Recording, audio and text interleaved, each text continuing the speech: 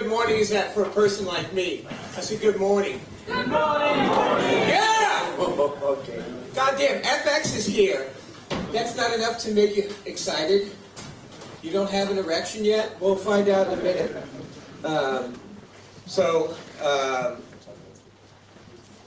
I found out the kid doesn't speak English, and she remembers me from the boat. She goes, "That's the boatman." yeah, I'm the boatman. Yeah, I'm the man on the boat. So, I'm Big Easy. I'll be introducing speakers and stuff, trying to keep things going up on the stage. And my my uncle Phil and some other people and and some other and Olga all the and Alex. I don't know where is Alex. Alex So- is he was up there last time I checked. Uh, Maybe he's going to come in. And Tad will be the, he's the boatman man. He's the captain of the boat. So, um, Phil, once again, we're going to kick off Hackito, right? Yep. And did you want to say any words? I was like, Thank you. all right. So, it's time for the keynote. And um, a man who probably doesn't need much introduction, FX, will do the keynote with Jessica. And before anything, And before anything, happy birthday. Oh my god.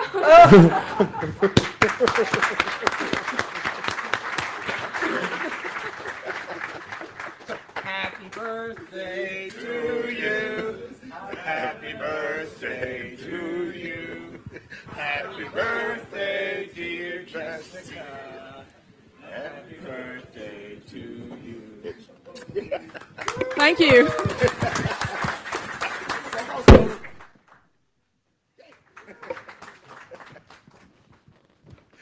Cool.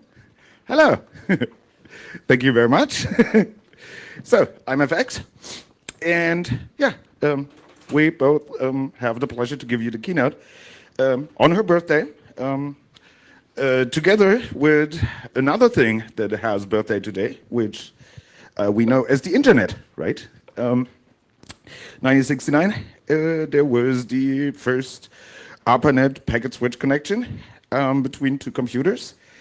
And um, yeah, the fun part actually is uh, with this story that um, you know it was um, two universities in the United States, and so they had a first packet switch connection, and then we're on a you know, circuit switch connection, basically on the phone, uh, to figure out where, if it's working. So they try to log into the other computer. So they type an L, works, yay. Type an O, works, yay. Type a G, login process on the other side crashes the login process running as root. So we basically, uh, in, in today's terms, that will be a remote exploit or a cyber attack, right? So basically, we had cyber war before we had cyber. Um, and so this um, gets us into um, what we want to talk about. Um, basically, what is and what isn't. So and uh, IDS isn't. um, um, IPS will not protect you. And bug bounties uh, will actually not secure your software.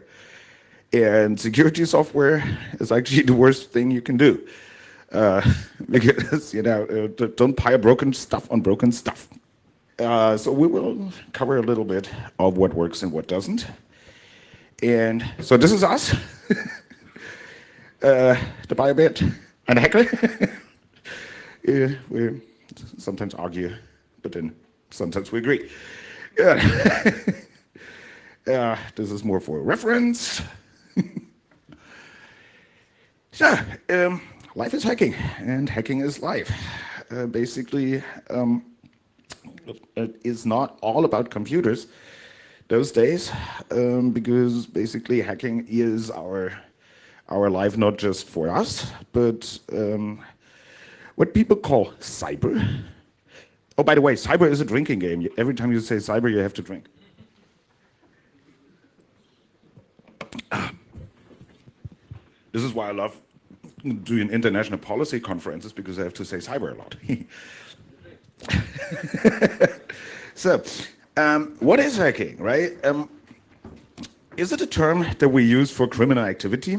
Um, like it is used in media mostly. So when evil people break into computer systems? Um, or is it maybe a term that at one time was used at the um, Toil or Tech Model Railroad Club at the MIT for people that were actually able to control their trains because they have little switch keys there, uh, tick, tick, tick, tick, tick, uh, control in a way that um, you know they don't crash into each other. This is actually where the term comes from. Um, is it hacking when you steal a lot of data that um, you have sworn about five different oaths to protect and then burn it on a CD and, and write Lady Gaga on it? And then take it to a tour through China and Russia? um, nah, not really. Not in my world. Um, or, you know, is it just, what the hell? Um, or, you know, uh, is it just your, your ego? Um, are you, basically, are you doing it for the ego and then uh, try to make it the noble cause? Or do you have a noble cause and um, your ego feeds off the fact that you're doing something good? That, in fact, is for you to decide. Um, but from my point of view, hacking is mostly about what's the goal? I mean, the primary goal of hacking is because we can. That's basically why you do it, right? Um, but um, if you happen to can, if it actually happened to work, then it's an interesting question, and it's a question that is worth considering. Uh, what are you doing with the results? So, um, a couple of um, epi fails um, that um, you know I'm really pissed off about mm, because you know people this this technology world is not really old, right? But you know uh, there have been people that actually know what they do. There have been people that actually think about what they do. So um, reinventing the wheel sometimes is cool, sometimes it's not. Uh, but at least check out the wheels before, right? Maybe they were already round and cool, and you know, uh, and um, what is definitely not the right thing to do is reinventing stuff for the purpose of reinventing it, right? So um, pisses me off, right?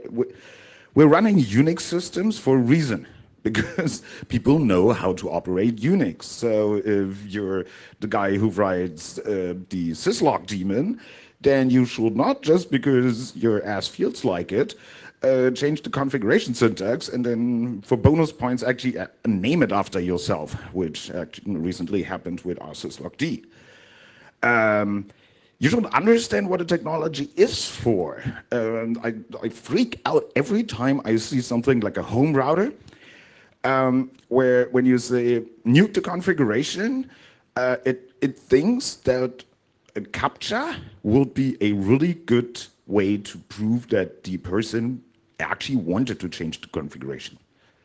Uh, wait a minute. What was CAPTCHA standing for? It's a Turing test. Damn it. Um, and you know, I think those people they they probably also went to the curriculum in the university and then Turing test. I take that one, um, and I probably failed it. And, you know, uh, I have no words for the stupidity of uh, replacing a fundamental design part of an operating system by something like systemd. Uh, I mean, Lennart, go die in a fire. Uh, the only reason you're doing that is because Red Hat uses you to monopolize the Linux market. That's all. Damn it. So, um, that's the thing. Uh, you have to figure out why you do it and what you do with it. Uh, the people around will actually judge you, and um, sometime in your life you have to look back at it, and you know your your consciousness might actually never shut up. Uh, pro tip: drinking a lot makes it shut up a short time. Works. so, uh, who cares about what you actually think? Yeah, the people around you. I mentioned those. So, what about your friends? So, um, uh, back in the days, you know, when I was young and beautiful, um, today I'm just and. um, it used to be about the skills, right? So we were hacking uh, for the skills and the stuff, and then it was a little bit about fame. I mean, posting on Bugtraq, posting all day on Bugtraq was cool. Huh? You remember that, Big Easy? you remember what an O-Day is? um, but then, you know, fame equaled money because suddenly, you know, it started with the, uh, what was it, the Security Vacation Club, right? Um, yep. Uh, I'm not a carrying member, actually. Um, and well, then the military came and the secret services, and they wanted all the O days, and now it's about money. So basically, either your friends are lamers or they're your competition now. What about your employer? So having a hacker in the team uh, was rare. Um, used to be rare. It was something status. Um, then you know it became a requirement. uh, then regulation came in then it became a liability uh, because suddenly uh, you're risking your employer's job when you say, oh, look, eh, this, this machine is not only not compliant, it's also owned by me. And, you know, you're risking your boss's job. That's, you know, times change. Let's say, okay, your boss fired you. uh, now you're self-employed. Cyber. Um, and you know that, mm, that was something that was something useful for a time. So you know, hackers got hired, then became a hired annoyance. Um, because people realized that, you know, when you do, for example, you do product security. Yay. Um, look at Microsoft, right? Um, they managed to get their stuff halfway straight um, and basically lost all the market share in the process. Um, so, um, you know, people don't buy computers because they're more secure than the other computers, because the other computers have a fruit on them. Mm. So basically, uh, nowadays, when you do product security, um, the way we used to do that, um, like, you know, testing, pen testing, stuff like that, you're basically just reducing everyone's bonus pay. Hmm. Not so useful. How about governments? So, you know, having a hacker in your basement was a privilege for governments for a while. Um, but then they became a globalized resource, right? There's um, uh, people that live in Asia, um, were born in South um, South Africa, and uh, you know, uh, you can buy good weaponized exploits all around the world. So it became a commodity. And then the prices became known, and well, now basically you're just a very inefficient bug bounty program. In today's world, we're increasingly facing um, this position that, you know what, um, you hackers, you don't deliver solutions. All you ever deliver, if any, is more problems. Um, and that's affecting real people's iPhones, right? And, and they want a Facebook and they want to, you know, uh, just have a happy exposed cyber life.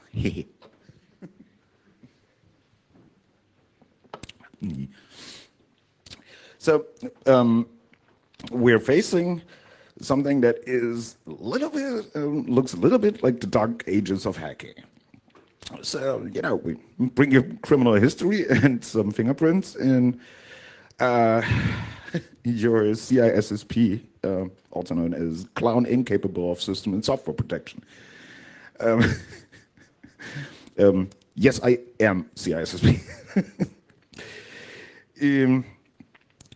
and so what is it? If we want to actually deliver solutions, the cure or secure or whatever, uh, we should look how that worked in the history because history repeats because humans uh, stay stupid.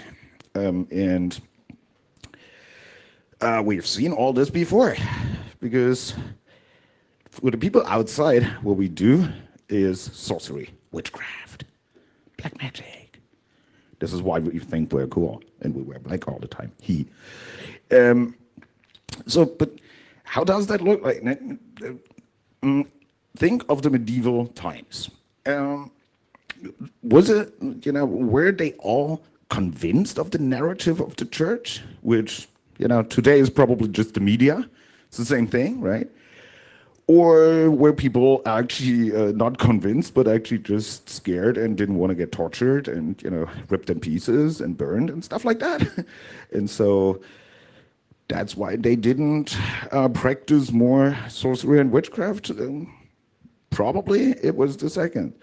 Um, there's a lot of um, knowledge that I think actually um, disappeared over the times. And um, yeah, the, the question is, how much is it worth uh, turning on stage, basically, right? So here's some examples that we, um, we know from the past. Um, having the slightest success in, in fighting the plague, um, simply by washing your hands after you, you know, burned to death and not kissed to death, uh, will actually get you burned on stage. Um, healing wounds um, or fevers, blah, blah, blah. Um, you know, healing someone where the family already paid for the funeral got you burned.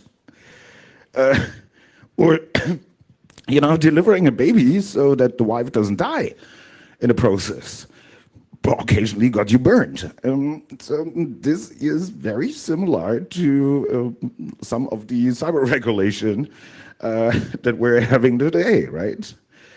Um, but still, is it is the hard way worth it? Right? Um, is is seeking knowledge and truth um, something that you should do, or should you actually like look for for some cult that provides you with an easy access? exit. Um, like, I don't know. Um, do you read, um, let's say, laws yourself, or um, um, do you just follow the crowd that um, goes Snowden, Snowden, Snowden? In um, you know, evil NSA, evil NSA, they hacked the Chinese. Pro tip: You should actually look at the founding law um, of the NSA it actually the second the first line says i'm the president and i'm starting the nsa the second line says hack everyone especially the chinese basically and i mean that was still written on a typewriter um, so the, well it's their job um, and you know we have more parallels to the um, to the medieval times right so uh, religious healthcare um, basically if you have a situation where knowledge is needed um, and deep knowledge is needed, but there's a short supply of people that actually know what they're talking about. Uh, medicine in the medieval times, computer security today, right?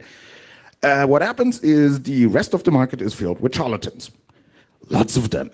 Uh, many of them sell yellow boxes. He, um, and basically um, the, the vacuum is just filled because there's people with a demand and money.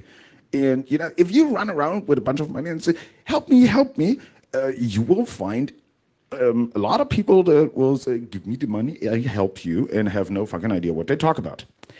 Um, so because like our computer security, especially the defense side, is a lot like medicine uh, back in, in the medieval times because so they have the situation where someone have probably an infection from you know blood infection, and cutting it open and bleeding him out has worked once, maybe twice.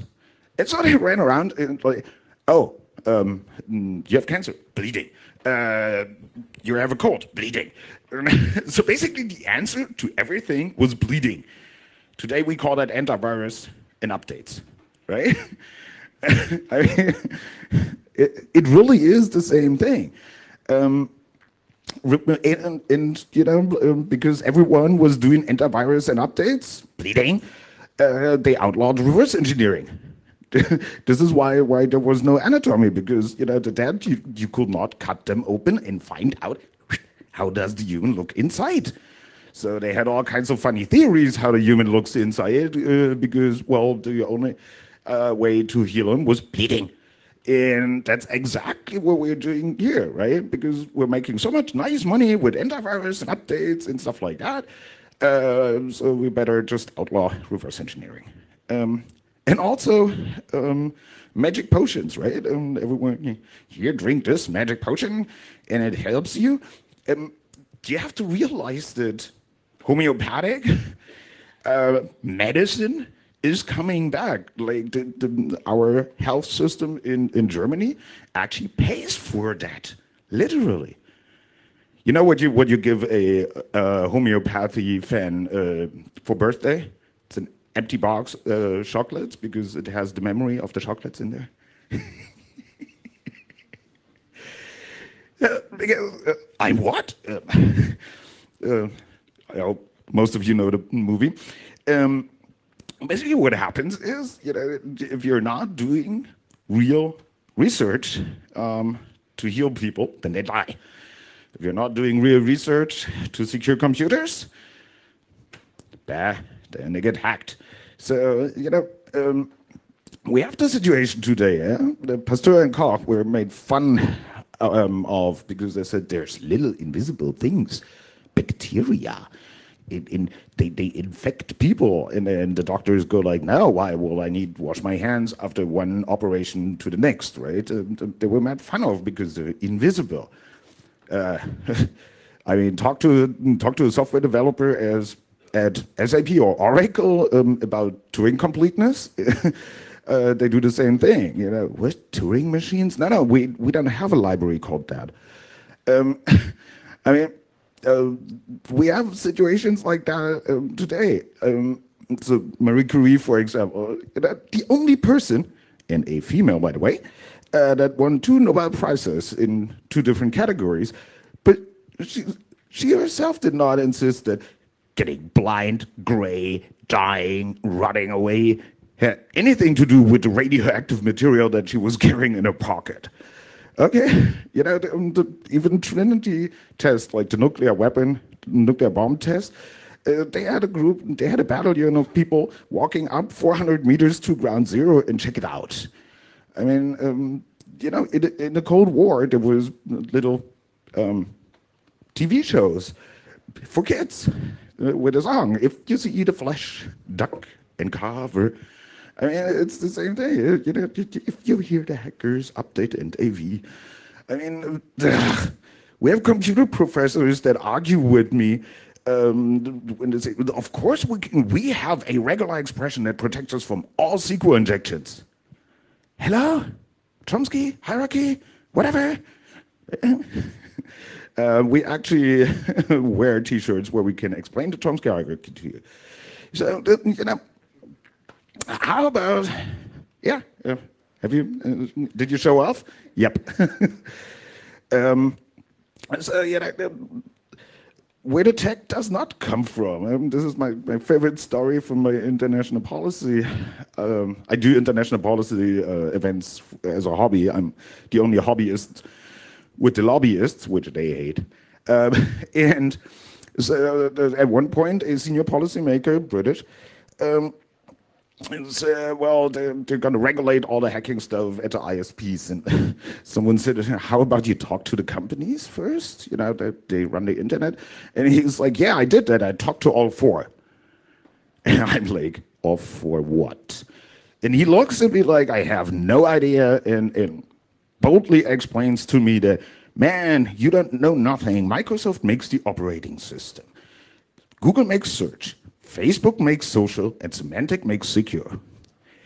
Those are the people that actually write our international regulation.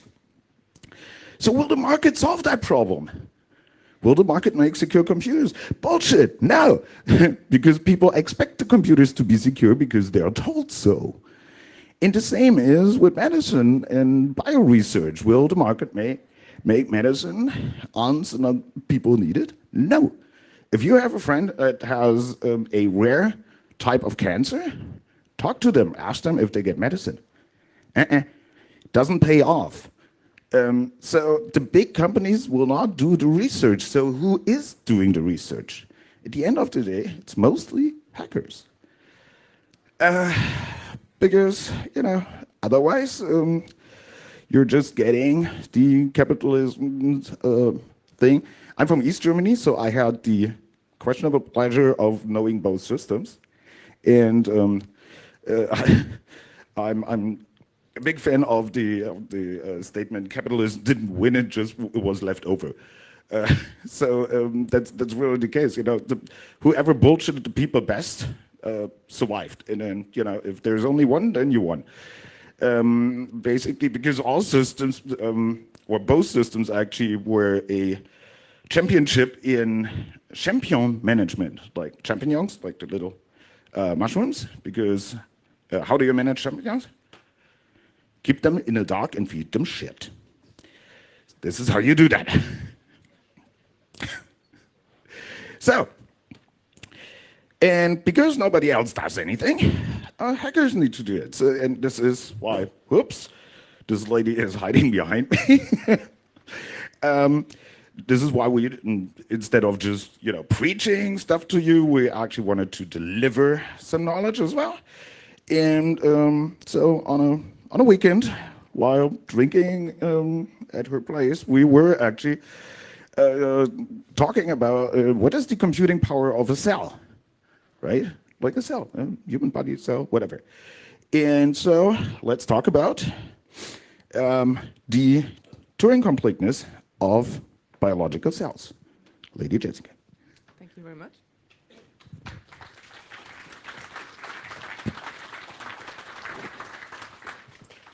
So basically, what we have been asking ourselves is what type of an automaton is a cell? Automata, you will for sure know that, is the Greek word from it means self-acting. So a, a living cell is defined by being capable of um, sustaining herself. It's a female, of course. Uh, and um, to proliferate. There is a big discussion still going on in academia, like, oh, okay, is a virus a cell or is it only if it can divide by itself? Because a virus needs a host. A bacterial cell, for example, doesn't need a host. A bacterial cell can divide by herself. In other words, what Chomsky hierarchy grammar type is used for encoding to DNA. And here we start to explain you a little bit about the bio part. So, DNA, you know that deoxyribonucleic acid is what makes us. That's the tape. This, this is how you tell has no high school degree, has a diploma. she can say words like that. So, DNA, that's your part. Well- To, to just trans- translate. Yeah. So, so what we what we try to do here is translate uh, the biohacking and DNA's the, uh, to hackers. So basically, um, the, the, the DNA you can think of, and, and I learned this all from her, and and this is the real fun part, um, because like I get this explained, and then I have recognition, uh, and say like, oh, I know this. So when you look at the DNA, it actually is uh, basically a bunch of frames within frames within packets. It's a PCAP file.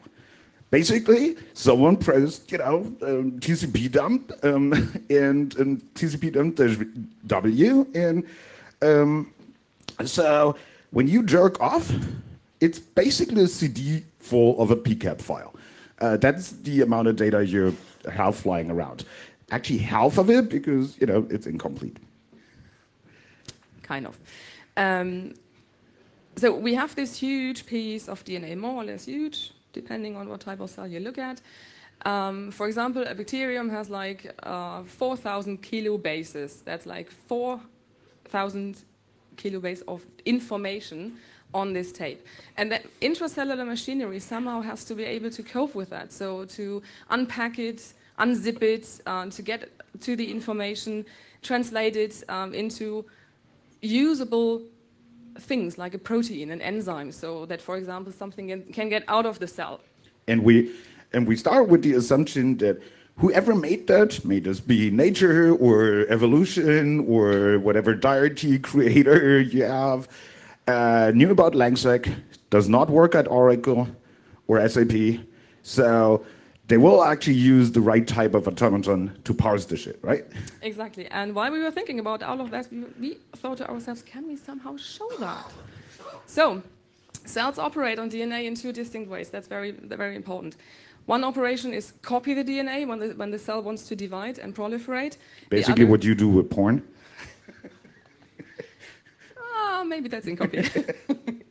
And uh, the second operation is the execution. So it's um, I need to get st stuff out of myself. I need a channel to the outside world. I need a protein, and that's the execution. So the DNA will be taken and being transformed into. Right? Yeah, yeah we, we, okay. Sorry, so I'm running away. basically, think of the because the copy, this distinction is important. So the copy is basically DD, right? Uh, not, not, not, when you do it from a disk, uh, floppy um, and the execution, when you think of the PCAP file, is basically now you have a TCP dump dash R, and you give it a BPF filter like host uh, phenoelit.de and ICMP. So you're extracting the part that you need. Um, yeah, and that's basically it. Yeah, and one thing to note is these two processes have no direct causal link between each other. That's a very important feature.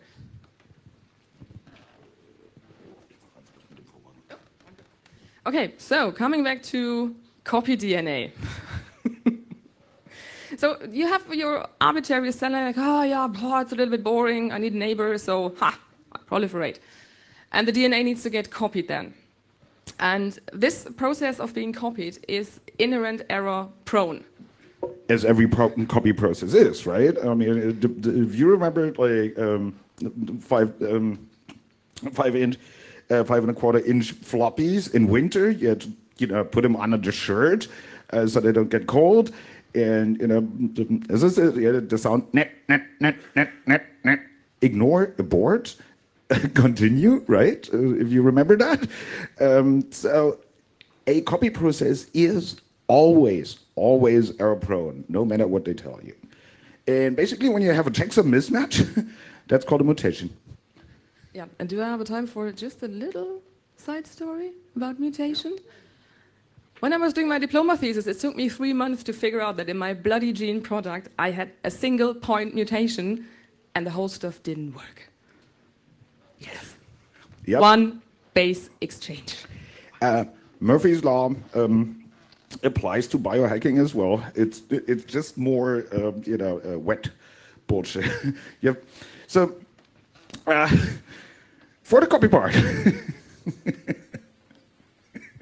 Yeah, what I, I, what you see here, I can I can I can remember that um, back in the VGA days. copy. Anyone remembers that? Because I started using computers a little bit later than you guys probably. Um, and our um, what do you call what what was that on the uh, original thing? I forgot it. The- what? The VGA, copy. Yeah. What for us it's called DNA polymerase. Remember that name. It's important. Basically, that's your copy program. So coming to the second part, the execution.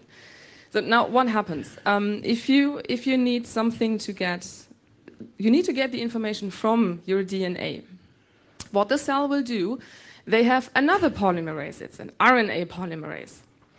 It will go to the DNA and look for the sequence it needs and like ah where are you, where are you? ah here then it will attach to the, to the DNA and write a little transcript. So it will recode a specific subpart, a subpart, a subsequence of the DNA into another molecule called the messenger RNA. And this is what brings the message to the second parts in the cells So to then proceed. the recoding you can you can think of is basically you know you, you download um, you download an um, MPEG porn and you transcode it into an AVI. Uh, or in, in coding terms, basically, this is like the preprocessor in C, right? GCC-E. So basically, uh, all the include, blah, blah, all your defines, all the macros, like, you know, the long macro thingies are resolved. And you still get C code, um, but, you know, it's now all in one file. Okay, but that's not all we need. We also need, um, and I'll just make a spoiler, we need some kind of a library, and that's called the tRNA. The tRNAs are also transcribed from the DNA by another RNA polymerase. I'm using a lot of this RNA DNA thing, so uh, Drives me nuts. I know. Um, and all this together will then come to the next step. But this tooling, that's very important because these libraries are needed for the third step. The libraries. So uh, basically, it's it's like bootstrapping uh, your glibc, right? So you download the sources of glibc, and then you end up with a metric ton of .o files and um, yeah, uh, the stuff um, in systemd. Okay, then we come to the third step, and I'm sorry, I have to introduce another word to you. It's called a ribosome. A ribosome will Is a linker. yes, and it will attach to the tRNA. Uh, sorry, to the mRNA. I'm looking at the slide. To the mRNA, of course, and look what's what's on the mRNA, and depending on that, matches the code, the base pairs, the, DN- the, the, the genetic code, and look in in the cell matrix like oh i need i need this tRNA and then i mean this one so looking up in the library what it what it needs and this in the end because to this tRNA is also attached you have your amino acids which eventually make up the protein you need and that that will make your whole gene product the answer. Well, it could be an answer, right? Yeah. Um, so basically, uh, uh, this slide, uh, like when we when we made this slide, we realized that uh, this is uh, worth, um, let's say, two semesters of bioinformatics. Um, because find someone, find a bioinformatic guy that can explain that. Um, so yeah, basically, So- what it returns. What it returns is something that if you uh, okay, so but this is the visual, visualization of um, X-ray data from, and you know that already, from a polymerase. so if you have your protein, you can crystallize it and then X-ray it, and then you like analyze the data, and this is the picture you can get, and it's an undebuggable executable. spaghetti code. Yeah, uh, like uh, the Apple kernel. uh, so um, basically, um, this, um, yeah, think of that as IDA, like um, as if you will take IDA and look at something, right? um, so What coming back to the Turing Turing machines. What is a Turing machine? Um, that's an old um, German movie classic. Um, so, what does it consist of? We have a tape, right? Yes, that's in our case the DNA, for Correct. example. So we need a head. Uh, no, not this, but uh, something to read and write on the tape. Well, the, let's see about the write. But read, we just covered. Yes, read we already covered. Right, to some extent also. We also need a stage register. Yep. Um, and memory cell here does not refer to biocell, but like register, like EAX. like in an automaton. And we also need the instructions. That's our DNA code. basically an instruction table, right? Uh, what what operations do we have? And we need at least four, because to show Turing completeness, um, you know, Turing machine has a stop signal, right? A stop uh, instruction. However, that is not needed for the Turing completeness proof because it, a Turing machine that does not end uh, is also a Turing machine. Um, and Yeah. if the stop is missing, Well, if the stop is missing, it can turn to cancer, for example. Because the cell will not stop proliferating, or your DNA is, no, your protein is broken because it will just run. It continues to run on the DNA. Yep. Um, think of it as LibreOffice. it's broken and it just eats all the CPU. so, uh, but we uh, it turned out that we're actually pushing the envelopes here. Um, so, what did we find? Well, a Turing machine is actually not required to perform any useful action in the meaning of doing work. And probably some of you know that, and I can speak for myself from past experience, compare it to your CEO. Yep. There is also no requirement for it to be too deterministic. And the individual functions are not in no way required to be implemented together. Read, Yep. Right. So uh, the read and write head, because the Turing machine is a thought model, right? The read and write head, um, nobody says that we don't have can have a read and a write head, right? Yes. And to show Turing completeness, you don't have to, um, you have to only show that a Turing machine exists. You don't need to have it. Think of patents, right?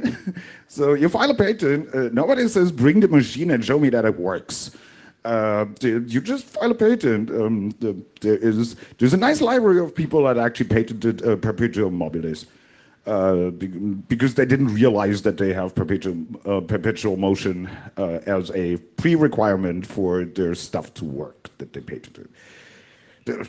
Amazon patented uh, the buying stuff with a click. Whatever. So, uh, 0% complete. We're looking for our primitives, right? We're, we're trying to build a Turing machine out of a cell. Read and So- forward. Sorry. go ahead. First step, read and forward. So the copy process is already incremental. We already have that feature. And yeah, exactly. It will just like, it will move forward forever until it falls off or is tired and, oh no, has a movie to go to or whatever. And um, what the DNA also features is blanking out blocks of codes. And you may have heard that there is also a huge discussion going on between things called introns and exons. Exons are the things that what we know today actually code for something. So when you have a part of the DNA that's called an exon, it will lead to a gene product. The introns, however, is what we call to date garbage. But is it really garbage? No, it is not. And there's a lot of research going on to, to, to see what this exactly is. Is it like a regulation thing, and regulation meaning not in the way of government regulation, but to, thank you, control. it's called regulators in our labs. That's the problem. The thing is, basically, the easiest way to think of it is uh, introns is uh, exons is if def and introns is if def, right? So you basically if def code out um, or comment it out if you want, right? Um, the, the interesting thing is because those those two processes, copy and execute, are separate. Whole shit is copied all the time. So um, you know we we have a basically we have the effect of let's say it's a file system remember when you copied disks and then suddenly on ms-dos you had a like, floppy disk and it had a gigabyte sized file and you couldn't delete it because you fucked up your fat there was a mutation in the copy process um, at the point where the fat was and here goes your file system so um, we have that part now we're 25% complete already. Now we have forward operation. Next. So the branch forward. So these introns, they are already a branch forward mechanism in a way that I think you can explain way better than I do. Yeah, well, basically it is it is again the file system thingy, right? When you when you copy a, fi- uh, um, a file from one thing to the other, the file system tells you which blocks on a disk uh, con- um, constitute this file, right? So um, this is basically a conditional copy, right? So um, on the on the other, um, yeah. Uh, so if you, for example, if you modify the file system, again, we have a mutation while we copy our porn, and you know our porn is in a file system, MP4, AVI, they're file systems, they're container formats. Um, so we have a mutation. There's a bit flip somewhere um, in our porn movie, and um, so suddenly the tits are pink uh, or blue. um, so uh, that um, and, and in the DNA, we, we also have a signal. You know, it's like um, like with packets. You need to know where the packet starts, and this is um, the donor, right? The, Right, the right. start marker. Yes. And if you look at packet and packet um, attacks from um, Travis Goodspeed, for example, um, this is exactly that. You have a start sequence and you have an inline parsing, and when the start sequence is missing, then boom, you have two packets because uh, two packets made one, where one made two packets.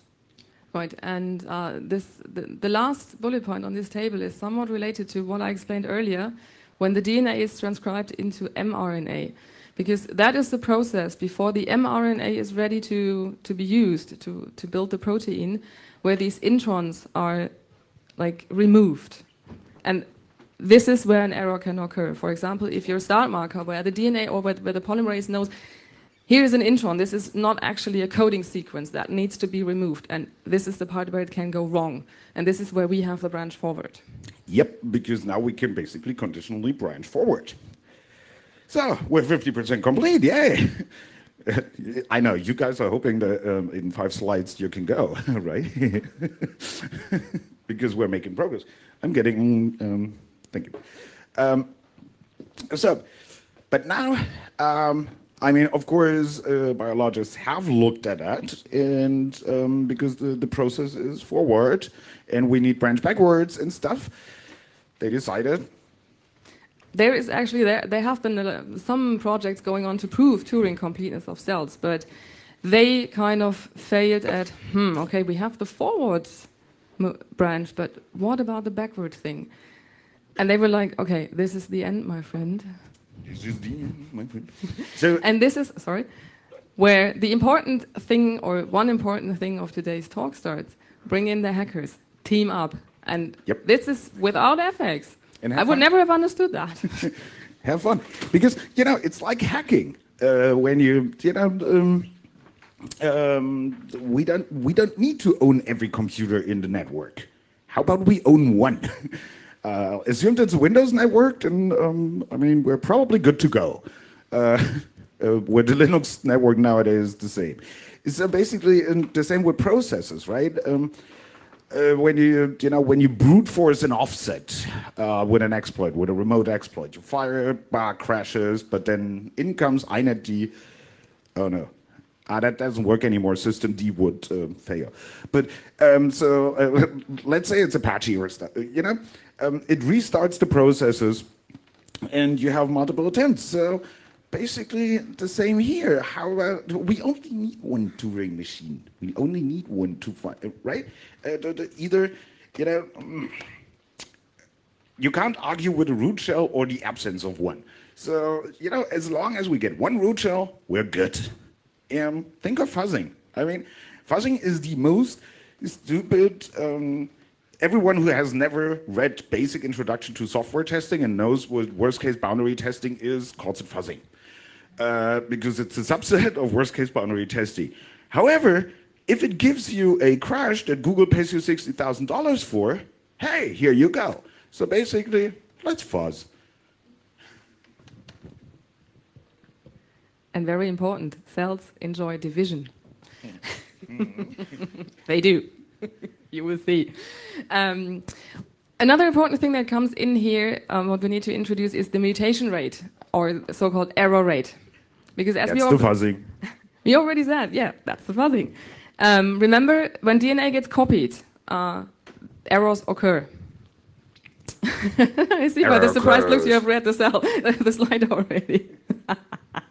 so let's take an example. An E. coli, that's a bacterium you have in your guts. Every one of you, millions and billions of them, and you need them to digest your food. And they divide at a rate of um, once every 1,000 uh, 1,200 seconds. So are E. coli nom-nom bacteria? Yes, they are. nom nom nom. Nom. A human cell divides on an average rate um, every 24 hours. So every every of your of course your body cells also need to divide because your skin needs to be repaired. Everything in, in your in your in, uh, approximately every seven years you will have a whole new set of new of cells. You will not be your, your previous self literally because you have different cells. How else? How else would you get a new haircut or uh, get rid of the uh, of the um, uh, let's say uh, remains of drug enjoyment in your former hair?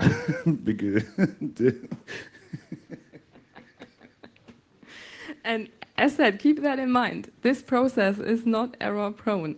And both processes, on an average rate, they produce mutations like a 0.003 mutated base pairs per second. And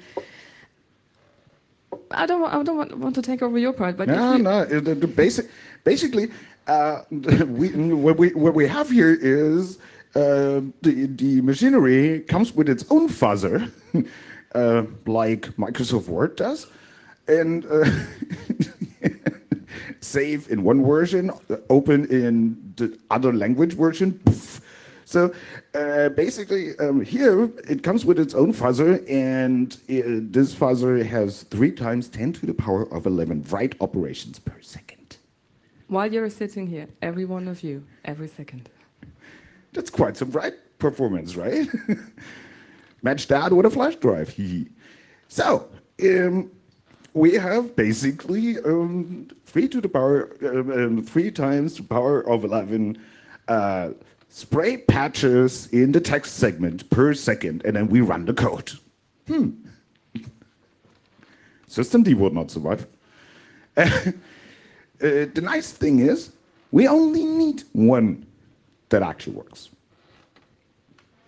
The next important thing, branch backwards. And as far as we know, there is no backward branch operation in the copy or in the processing um, I part love of this the DNA. conference. Excellent Thank service. you. Cold beer in the morning. This is why we do keynotes. We get to drink in the morning. Okay, so um, what, what we've seen um, earlier, these, these polymerases that uh, copy and translate the DNA, they can move forward, but they can't move backward. At least it hasn't been observed yet. It doesn't mean it doesn't happen, but we haven't seen it yet. So we have to consider it's not being done. So for the purpose of this discussion, let's consider that a missing forward branch is a limited backward branch operation. Oh, thank you. Cheers. Cheers. On Hackito. Cyber. Good. So basically, um, this is basically the trick we do. Is like, okay, we don't have full backward branches, but a not happening forward branch um, that jumps into stuff, um, basically keeps running into stuff that wasn't there yet, is already a backward branch. If you have ever written, um, let me, uh, if you have ever reverse engineered Viri, um, you know, in virus writing, um, you often do that on variable size instruction sets. Um, you jump in the middle of another instruction, at which point the decoding of the whole instruction stream changes. IDA goes crazy. Uh, the analysts at Symantec don't understand it anymore, and you're good to go. Um, so basically, this is what is very commonly um, done in shellcode development, in uh, computer virus development. Um, so what we do, uh, you know, uh, okay, we we don't have a universal backward branch, but we don't need a universal backward branch because x86 doesn't have a full universal backward branch. If you have conditionals, you have to do dink, dink, dink, dink. Uh, so we do that, and basically get uh, to 95% completed. Why? Because we're waiting for the damn fuzzer to find the cell, uh, to find these, this one version that actually runs our Turing, has our full Turing machine. Um, well, that um, is exactly how it works. So, uh, to quote Alan Turing himself, a broken clock is right twice a day Exactly. shows the right time. So what we do, we got a lot of broken clocks. Let's see, one will tell us the right time. Uh, and then we wait And wait. for the right error to occur. Error occurs. And we install Windows out of boredom. now we're out of porn. At some point, you know, we, we learn we learn uh, all of 4chan. and then ba-ba, Point wav. we have Turing completeness. Cool. Hey, where's the applause? It's for you to tell something.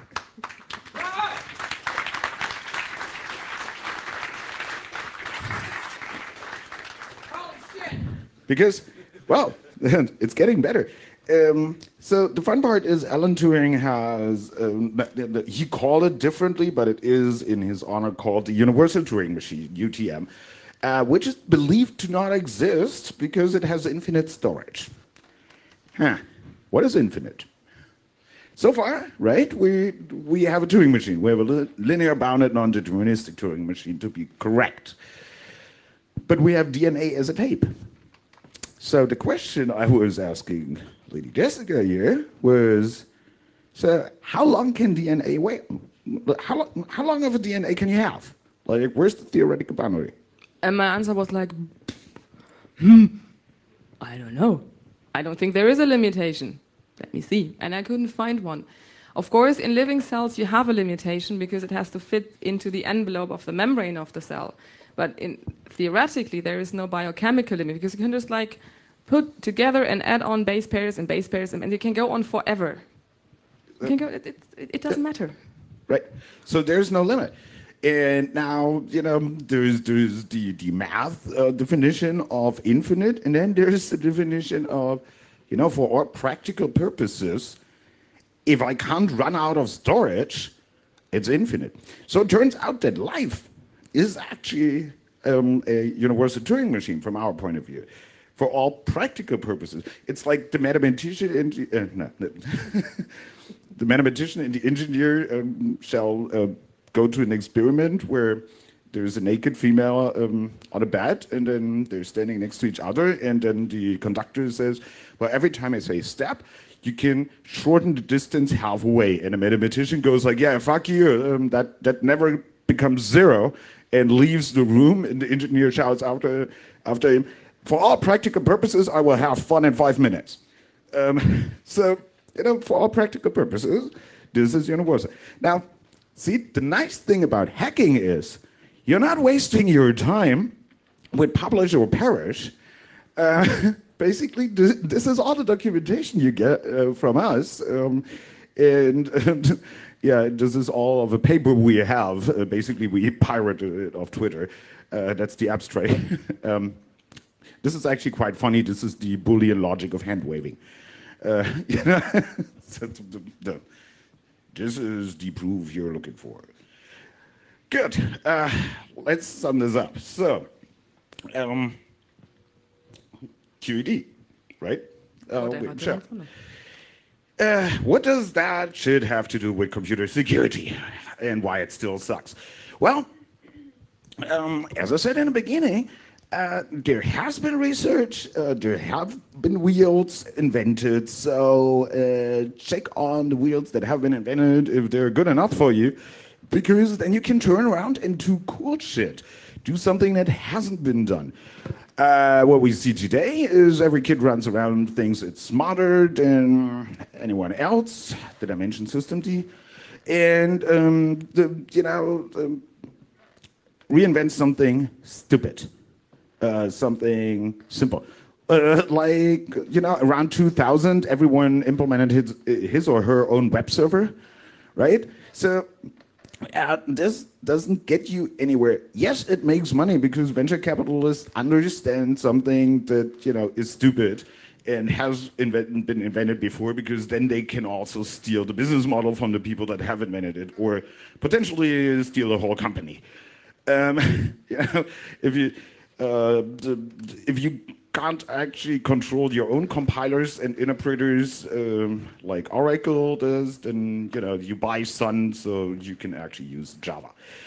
In, in the, the, the market will not regulate any of that because people don't buy what they want. People buy what they're told to buy. Um, but keep in mind, people, we're not buying software, right?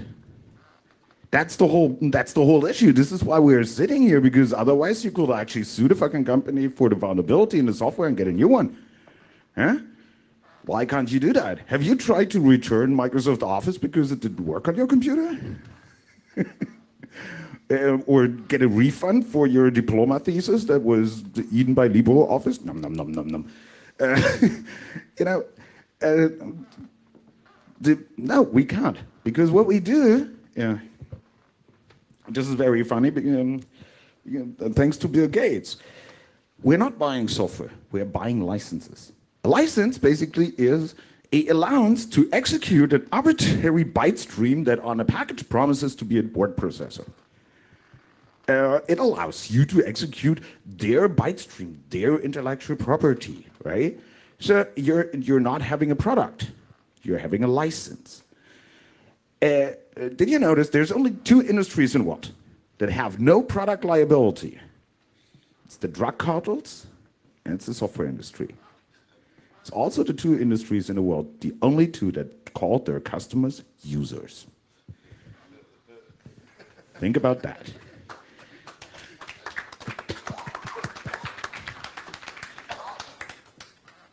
And as long as we don't have any liability, yeah, we have to invent cool shit uh, ourselves, right? Because we can't make them. We have to think about it. Where does tech not come from? I covered in the beginning. Where does tech come from? Cool technology comes from the military and from hackers. All kinds of hackers. You know, there have been hackers around for everything. The, because we can mode of hacking is the initial part, and this is why you need to think about what you do with it. And I mean, you should realize how much money uh, people pour into military people, for example, pour into quantum cryptography, uh, quantum computers especially, to break RSA. Did you notice the three times 10 to the power 11 computing power per second that uh, you're running around with? Uh, basically, your body can easily on the fly crack RSA in very large key sizes instantaneously. Uh, and no research in that direction. So, you know, the, this is an example uh, two people bullshitting around just for the fun of it, thinking about something, thinking it through, working through it, and you know, to take a run from you. Um, and this, this is what hackers do. This is what hacker spaces bring. This is what conferences like this do. This is why you should be here. Yep. So.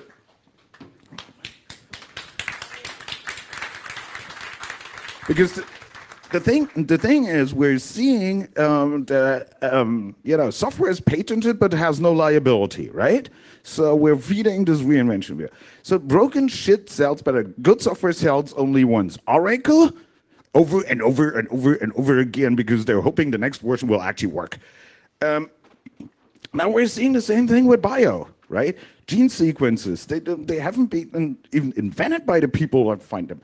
Um, even worse, I mean, they are around. And if this continues, it may happen one day, if we don't prevent it, that dollar company has the idea to patent, I don't know, a part of your DNA. Then what? You walk around with it and uh, wait, a patent? Wait a minute. You know what I just realized? Uh, we explain it, mutation by a copy. So how about uh, like um, down the future, you fuck, uh, you get a um, you get a son, and suddenly it turns out your son is patented because the mutation happened to run into one of the patented sequences. I mean, uh, this is why we actually um, have to look at stuff and, and stop developments like Monsanto. I'm mm -hmm. skipping over that a little bit, but uh, Monsanto is exactly the oracle uh, of crop science. It's like, you know, broken shit sells year after year after year because it only, you know, grows once. Uh, and this is why full disclosure was important and continues to be important. Um, I mean, over time. Are you nervous? Oh, almost done. Um, so. I, I don't think we need to. Almost You done. can go as long as you need to. Does anybody have a problem with that? Okay. And there'll be time Nope. for questions when he's done. So, uh, I know full disclosure came about because we have no liability with software, right? It was the only way to get Sun to actually turn off the fucking rlogind. Um, it was the it wasn't a bug even as a paying customer. The- hey, the, the, why can hackers just log into my machine as root? And is it crashing? No. Then we are not fixing it. So basically, um, this this is how it worked. And so by making all of it public, um, well, you're putting people at risk, maybe, but um, it is important because unpublished means less administrators, more cells. Um, the, what we're looking at right now is we don't have a full disclosure debate in biohacking at all, right? So um, either um, we start looking at our world, not just bio, everything um, as we need to make knowledge, we hackers need to make knowledge public in order so it's not monopolized somewhere else, right? Um, the, I asked Jessica if there's any reverse engineering, for example, of Monsanto uh, products and code. Nope. There is none. It's all patented. You can't get the sequences. You don't know what they did to, to the crops. And it's um, everything that has been filed against Monsanto or any research against Monsanto, even if it's been published, it vanished. All you, all you have is second level information. It is interesting because the hackers haven't understood it yet. Monsanto has. Monsanto tries to prevent uh, a basically hacking scene and full disclosure debate to even start. So, well, maybe we hackers do something important. Uh, because there's, you know, regulatory impact, right? There was an agreement, for example. Um, here's again the idea um, of suppressing knowledge. So this is um, the arms trade regulation, the international arms trade regulation, and in the dual use section, um, it uh, since 2013 it says um, you know there's intrusion software, uh, and it actually turns out a very nice, about like 45, 50 year old Japanese um, lawyer lady uh, on the way to dinner at a NATO conference asked me once how I would, uh, you know, define exploits. And um, I told her um, something about, you know, modification of standard execution code flow path, blah, blah, blah, and told her, but it's really stupid to use that as a regulation. You know what?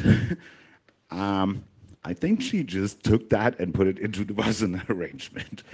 Um, the fun part is, if you've understood a little bit about Turing machines and, and what we talked about here, you know what they managed to do? what modifies the standard execution path of a program or process? Your input. so basically, user input is a weapon by international regulation. Because, mm, yep, sorry, you didn't understand exactly what you're doing here. uh, which is why they're now, um, yeah, um, panically trying to fix that. and someone started to, um, I think it was Stefanos Anhero um, who started to explain Turing machines to them. Uh, so basically, we have again the same problem, right? Uh, regulation uh, versus the halting problem. Uh, the halting problem tends to win, right? so, um, the, yay, we just made user input illegal globally as a weapon. Hmm. In, in the same thing is, um, so, you post a question, yeah, uh, how do you tell the cyber readiness of a country? Uh, hello? Halting problem? you can't test your shit out of broken stuff when you deal with Turing machines or Turing complete machines. It is not possible. In you know, the, you can't test something that is provably untestable. Uh, you can certify it, that's called common criteria, um, but that doesn't get you anywhere. Uh, bottom line, halting problem people. So for the MBAs, um, the, you know, Master of Business Annihilation, uh, you don't know, right? Um, you can't certify it. So what we're trying to say is, get real, guys, and have fun with that because your work matters, and your answers need to live up to it and inspire other people. Thank you very much. Thank you.